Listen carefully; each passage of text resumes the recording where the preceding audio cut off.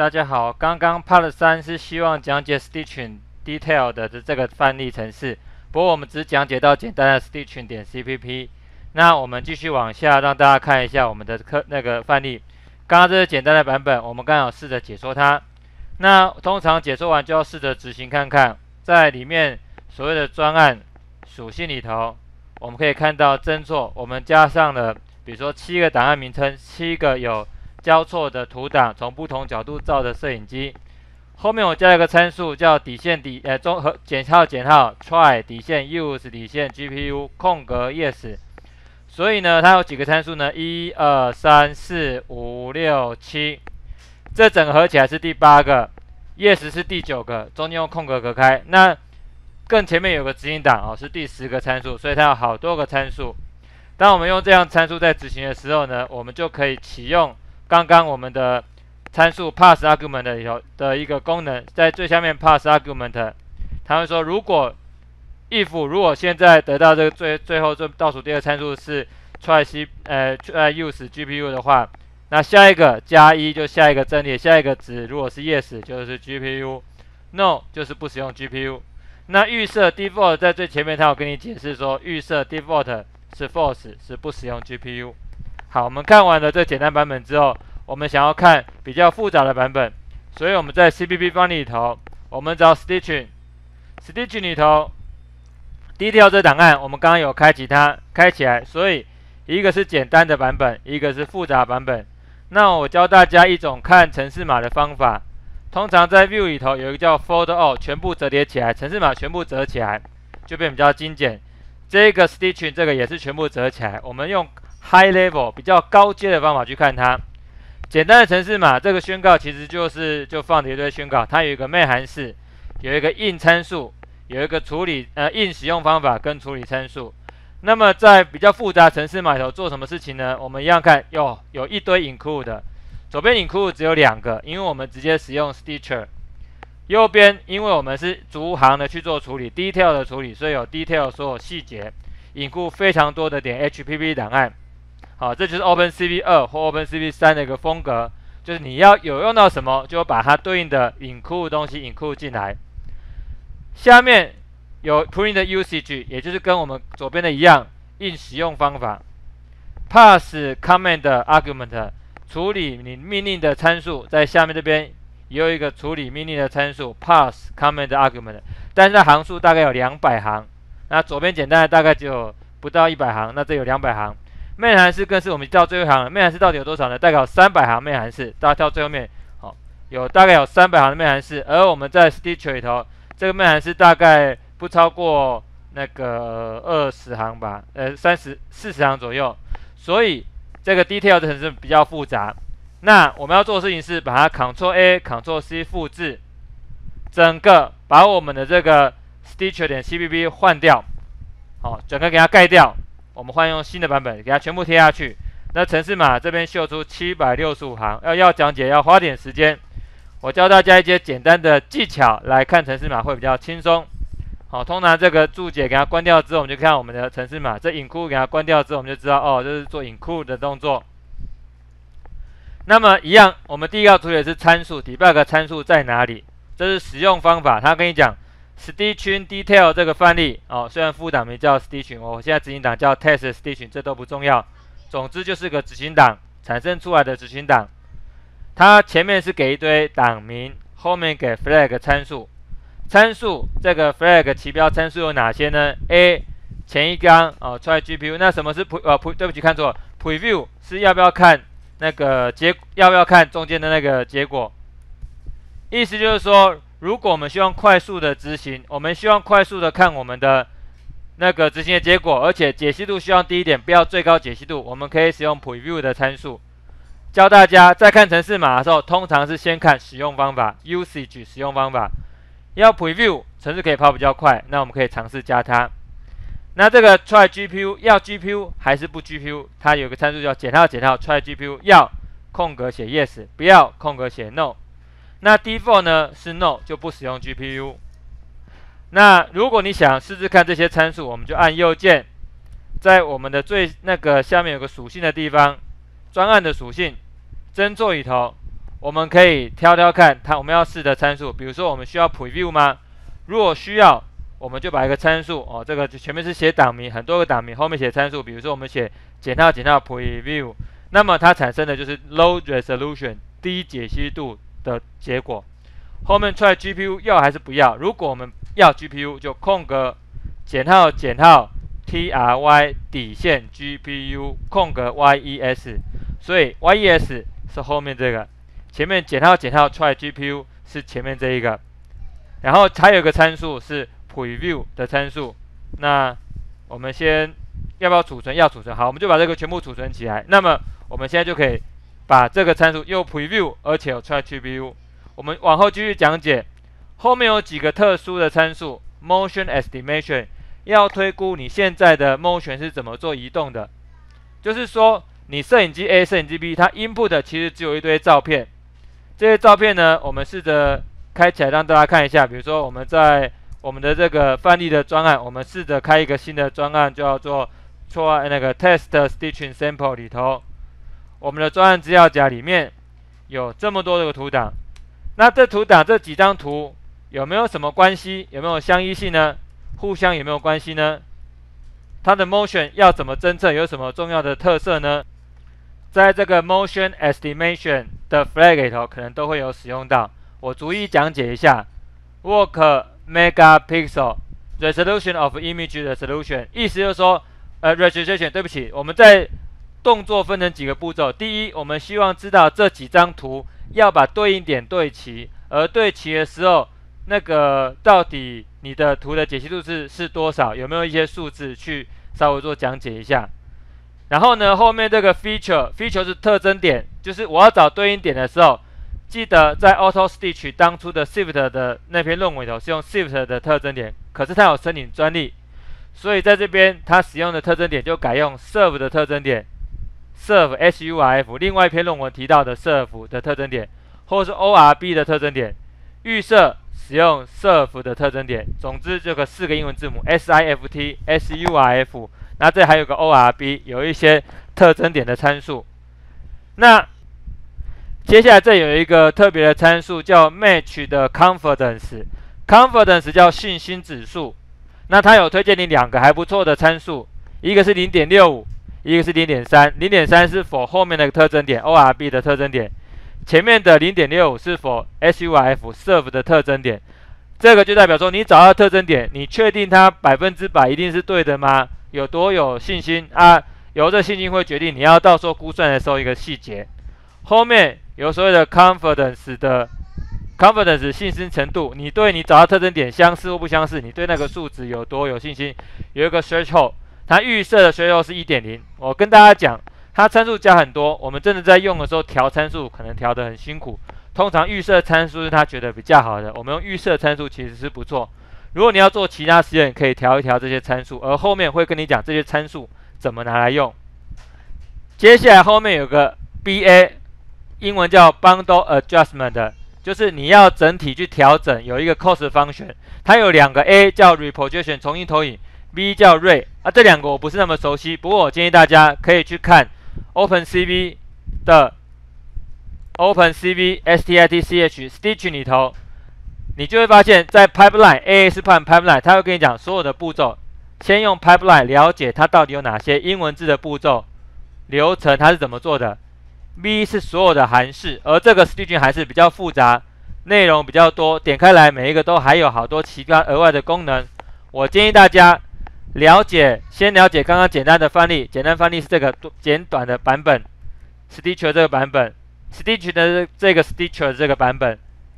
然后接下来要看这个 detail 的时候呢，我们去认识 pipeline 头所有细节，找特征点、对应特征点啊等等的，怎么推估现在的摄影机参数，怎么重新找到你的摄影机的正的位置，怎么去把它做 registration，整个对应注册对应完成，对应点的注册对应完成，然后再把图像整个做变形，变形完之后再去做整体的亮度的调整，或者是把它呃整体的把那个。亮曝光的错误找出来之后，把它补偿回去，再把颜色不同图稍微做 blending 混合在一起，而且需要把里头有一些图给它切到比较帅气的一个步骤。而这个所有的细节，这里头，在 Detail 里头有全部，这是高阶的函式 Stitcher，但是它也有所谓的细节的函式，这些全部是 Detail 细节函式。这些函式要全部讲完，要花很多时间。其实去读它的 Pipeline 的细节，去一个一个去看，可以让你对整个贴图更了解，可以让你的整个做 Stitching 贴图更有效率、更准确，或是更好的结果。我们回过头来继续看。我们这边不会讲太多，我只教大家要看程式码的时候怎么去看它的参数。水底有个参数叫 Bundle Adjustment，整整体去 A 跟 B 绑起来去调，要怎么去做它要做的事情。后面继续讲解，有些我也不是很熟悉。BA 的 Bundle Adjustment，BA 的 Refine 的 Mask，我觉得有点吃力，我这后面就不再继续细讲了。就简单说，里头的每一个参数，你都可以想象，它其实在刚刚的。这一张图里头，我刚才重新切一下，在这张 pipeline 图里头，都占有一席之地，都有一个框框在对应它，就去读它，去研究它，会有很大很棒的一个效果。好，假设我们成功的把它弄出来，我教大家另外一个看程式码技巧，按右键选择大纲，大纲里头有一些小小的工具可以使用。举例子，在大纲里头，我们希望全部折叠起来，那它就可以帮忙把这个全部的范例给它折叠起来。我再做一下示范，按右键。大纲，我需要大纲展开还是切换所有大纲？假设我现在需要切换所有大纲，数的一声就切换起来。这时候再大纲一次，切换所有大纲，数全部关掉。所以它是整体关掉，整体开起来。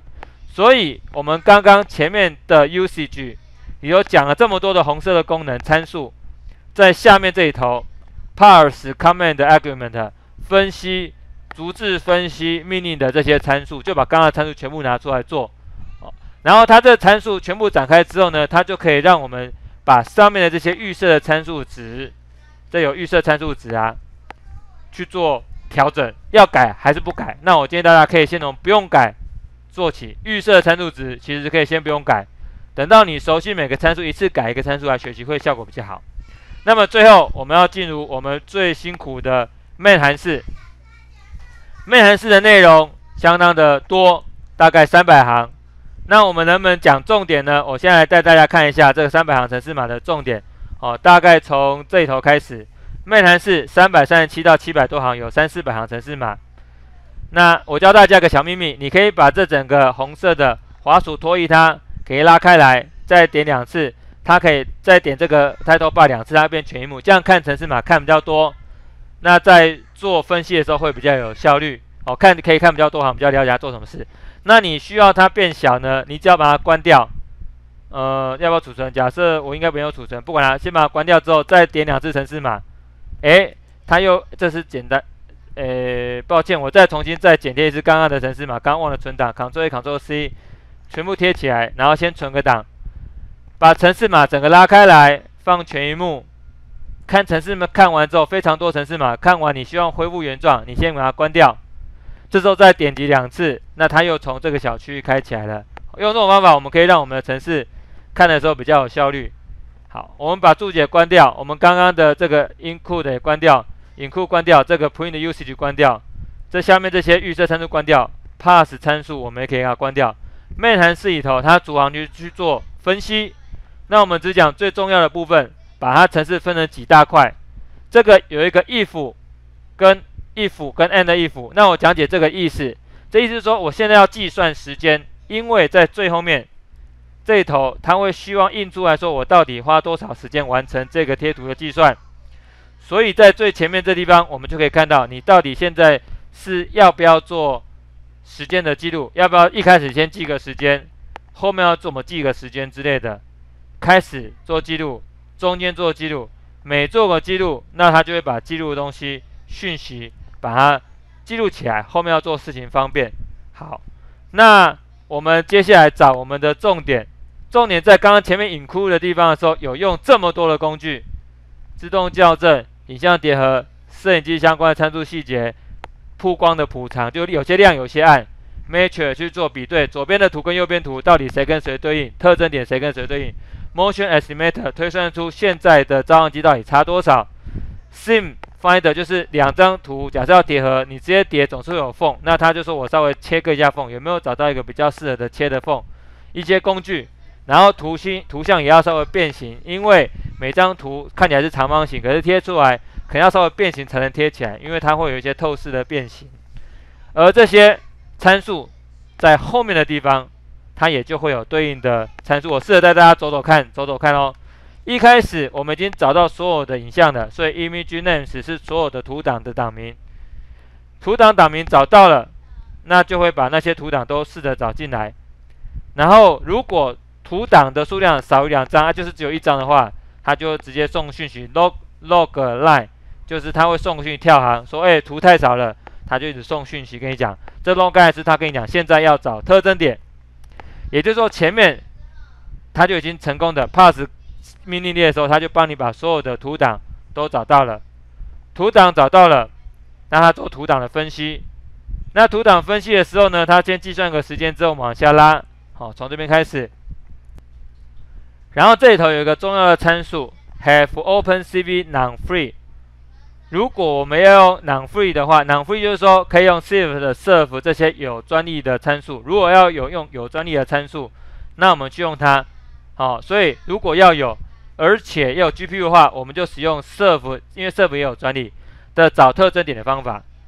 这个是要有找特征点方法，那否则就用这个找特征点方法，要还是不要的一个选择。那下面如果没有没有用 surf，，没有用 GPU 加速，那我们用 ORB，ORB 可能没有专利，所以大家可以用 ORB 的这种特征点。所以这是特征点，，surf 的特征点，ORB 的特征点。当然，OpenCV 新版的好像我印象中有十几个不同的特征点的找法，好，有些有专利，有些没有专利。然后呢，如果这是不幸的什么？不幸的是既不是 surf，，也不是 ORB 的话。那他就印出一行数据，说：“哦，抱歉，你现在的二 D 的特征点，我怕我不认识，诶，他直接就给他直接中断掉了。然后下面假设有找特征点，所以有哪些特征点的 image 的 feature 有好多种特征点。那总之他就去找他的对应的特征点。然后他找到特征点，找完之后，每一张影像，这个什么每每一个 full image size，full image size 是什么意思呢？总之这里准备了三个阵列，这三个阵列呢？数量都开刚好，假设你有七张图，就是七七七，三个七都放进去了。那前面的七张，所以在这个里头 for 回圈有七张图，假设有七张图，它就针对每张图都把它 feature image feature 算好，每张图都会放在 matrix 影影像里头，每张图有自己一个 size 的一个大小参数。那我们接下来这地方就精彩了，for 回圈每张图都要做很复杂的处理，有什么处理呢？你已经有档名了，我就把这张图直接读进来，而且这张图的长宽放到它对应的对应的那一个阵列的长宽存起来。如果不幸的有一张图读不到，任何一张图读不到，它强制中断，而且告诉你某一张图在读这个图档档名这个档名图它的时候读不到。后面我稍微加快角度做简单介绍，在这里头。这个 work 呃 work megapixel 要还要不要处理很大张的图档，还是处理比较小的图档？当图档很大的时候，处理要花时间。我们如果开启 preview 功能的话，哦，可能可以让它处理，便用比较小的图档去做处理，找特征点，速度会快很多。小粗糙的图、简单的图先做，然后不见得要先做比较复杂的图，这是种特别的程式的技巧。然后，所以它要不要 scale 啊？如果要 scale，那我就让它先做粗糙的解析度，让它可以比较容易做出来。后面这也是一个需要的参数，包括我在做 sim，sim 就是做图的大图的切割的时候，缝补切割就是 sim 就是切要切还是不切的 set。这里我不是很确定啊，不过我们继续往下看，后面精彩在这一行。这样意思就是说，这是个指标，这是什么指标呢？这个指标。就是韩式的指标，如果你看不懂没关系，你看到圆括号加指标，你就把它全部遮起来，反白，它就是一个函式。有一种 find 找特征点，找特征点的函式，它可能是 serve 找函式，或 serve 找函式，或是 orb 找函式，不知道谁找函式。总之，有一张图 input 韩式 input 的一张图，它的 output 是一堆特征点。他就把这张图有所有的一百个或五十个或七十七个特征点，不管特征点全部放在这个阵列里头，还有个阵列，这个阵列里头的特征点找出来，那找完之后呢，我们就知道现在这个是第几张图的特征点。好，找到了。那后面再做其他的影像的备份啊，那这些不困难。总之，在前面这个大括号，千辛万苦，我们就找到了特征点。第一部分特征点，可能把 garbage 是收一收，准备一下，不要浪费记忆体，不要浪费东西，城市才能持续去做啊。所以这前面，后面要收尾。Find 就是我们的那个函式，要负责找特征点函式。其中这一部分 Part 一是找特征点。好，我直接跳下一页。如果找到特征点之后，接下来我们要 Part 二，二是找特征点一，第一张图跟第二张图，第二张图跟第三张图，每一张图要找特征点的比对。怎么比对呢？有一个叫 Measure，Best of Nearest Measure。总之，它就是一种 Measure 比对的一个 Measure，负责帮你比两张图谁跟谁最像。那参数要不要 GPU 啊？哦，要不要 Measure 的 Confidence 就信心指数有多少？然后他用它想办法找到最好的特征点，然后准备好之后，他直接用一个高阶指令 mature，直接找特征点，找完之后 mature 结束，跟刚刚程式很像哦。刚刚前面只是找特征点之后，我们也是把它的 find 哦收尾收起来，这个也是，它也是把 mature 收尾收起来，所以关键只有这一行，找到这某两张图的特征点，那到底有哪些图呢？他就努力的去找对应的图，去给它找出来。下一件事情，如果我们找到了图的特征点，要不要存下 graph？什么是 graph 呢？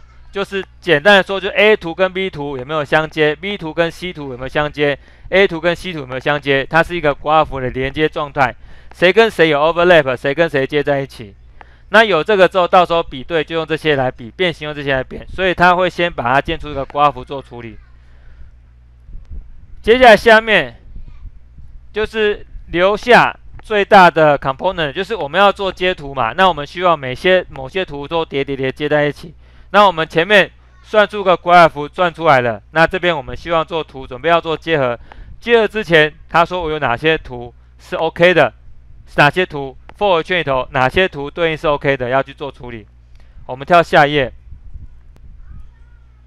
下一页这里在讲说，如果他图的讯息最后能够用到的图叠合的图，叠合的结果几乎都没有什么叠合，他就在说，哎，在跟抗议说这个图不够，不够做叠合，不行啊。然后因为你能够叠合在一起的图太少。后面这边 homography 是两张透视投影的照片，我要做估算 estimate，我要估算估算看看。它对应的透视的参数是什么？所以有这 estimate 之后呢，我们就把 estimate 算出来，然后同时有所谓的摄影机的参数都算出来，也就是每一个照相机从哪里照的都会把它算出来。好，这叫摄影机的估算。到这，那么接下来有好多参数的只要算，那我们就要做 bundle adjustment，就是我我要调整，就现在有好多组的照相机。每个每一张图都是一个对应的照相机，这么多照相机对在一起，谁跟谁叠起来，谁跟谁有关系？希望整体找出来结果全部可以接的非常的合理，非常的棒。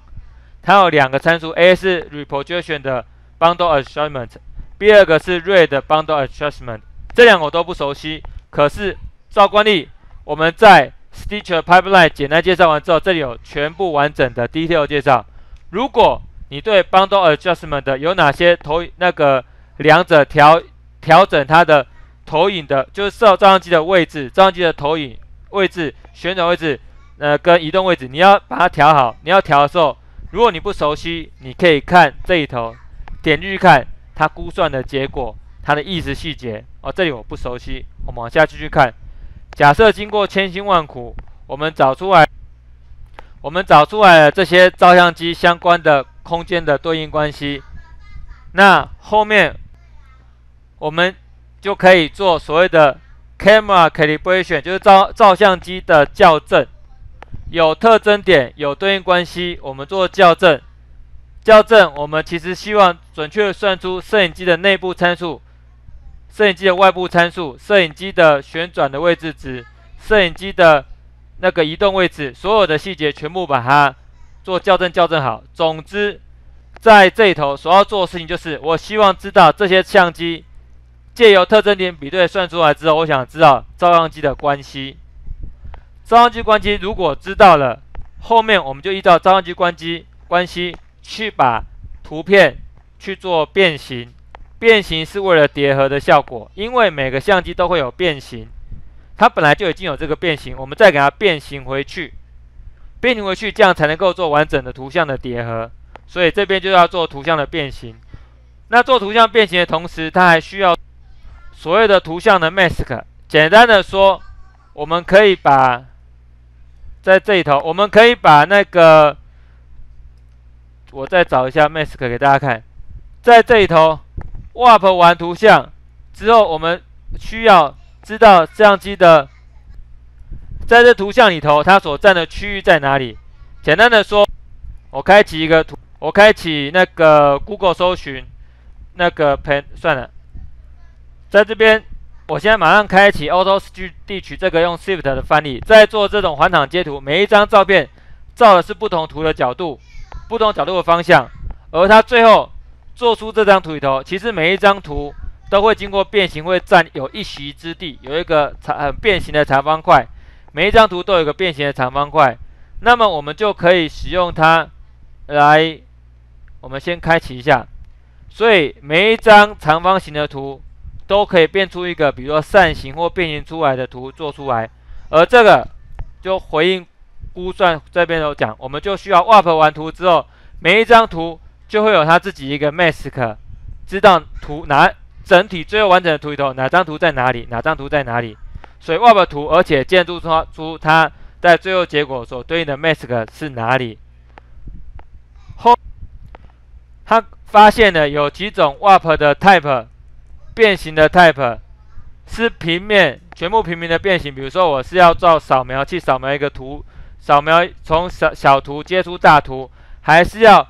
这个 c 令的柱状贴图 c 令的或者是 sphere 圆柱贴图，或者是鱼眼镜头贴图，或者是立体的 stereo，就左右两个立体视觉的贴图，或是其他。总之有好多的参数，它就会对应 OpenCV 不同的变形。而这个变形的 WAP 呢，可以帮助你变得非常好。你只要给它对应的参数参数设好，它就可以帮你把这个 WAP 准备好。而这 WAP 可以最后可以帮助你做出。正确的变形跟正确的 mask 全部给它完成出来，好，所以这只 mask mask 也变形好了，图也变形好，全部东西都变形好，就可以做我们要做的事情。接下来我们把图像全部都变形好，它秀出个你要把图像在一席之地变形出对应的变形变形好之后，后面是要做收尾的动作。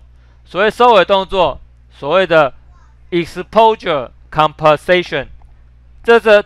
这个名词叫 compensator，就是说我需要把每个人曝光图调好。意思就是说，如果我没有调曝光，你就发现这有个缝，有地方比较亮，有地方比较暗，它一条直直的缝就出来，有亮有暗的接缝出来。这里它已经把位置找好了，接下来希望非常好的找出一条缝隙的缝。比如说，我希望呃做手术开刀的时候，我希望缝接在某个地方，让它弄得弄得看起来几乎像无接缝，就像原来的一张图一样。所以这一头做的事情就是把曝光补偿全部去做，而且把曝光对应的缝找出来，想办法把整体的亮度调好，最后完成我们的所谓的曝光的补偿补完，让它全部的缝 OK。下面这边就是做曝光的补偿的动作。